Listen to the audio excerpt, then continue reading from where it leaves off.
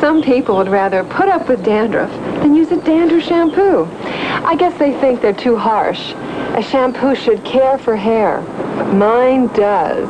It's special self-balancing formula. Sends dandruff protection only where I need it.